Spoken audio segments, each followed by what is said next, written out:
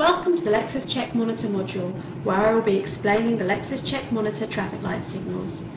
The document watch list and the citation watch list utilize the LexisCheck Monitor traffic light signals, which provide a quick visual indication of the validity of your citations.